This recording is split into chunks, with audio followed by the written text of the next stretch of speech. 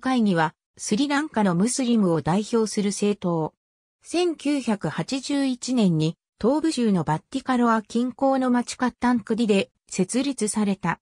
スリランカにおいて圧倒的な少数派であるムスリムは、タミル人とは異なって多数派であるシンハラ人と協調する道を選び、政権与党に加わることで、自らの利益を確保しようとした。この傾向は特に西部州に居住するムスリムに顕著であり、貿易業や商業に従事していた彼らは、資金力を行使してスリランカの中央政府に対して一定の影響力を保持していた。一方、同じムスリムでも東部州で生活するムスリムはこの状況に不満を抱いていた。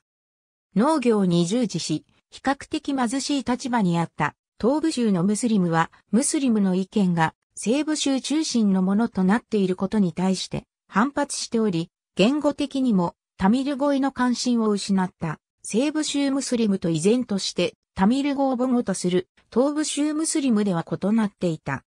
国内9つの州の中で最もムスリム人口の多い東部州ムスリムは西部州ムスリムから独立するための政党としてスリランカムスリム会議を創設した。結成当初は東部州のスリランカムスリムからでさえ批判を受けることがあったが、1983年にスリランカ内戦が勃発すると状況に変化が訪れた。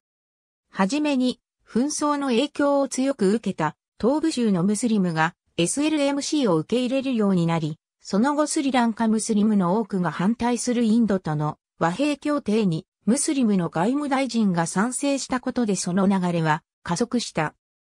1988年に実施された州評議会議員選挙に候補者を擁立した SLMC は北東部州で17議席、西部州と中部州でも合計で12議席を獲得し、全国で合計29議席の獲得に成功した。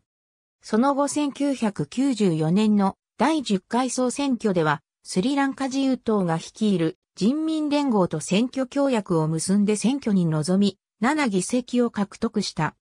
この選挙では PA が単独過半数の獲得に失敗したため、過半数獲得のために SLMC の7議席が必要となった。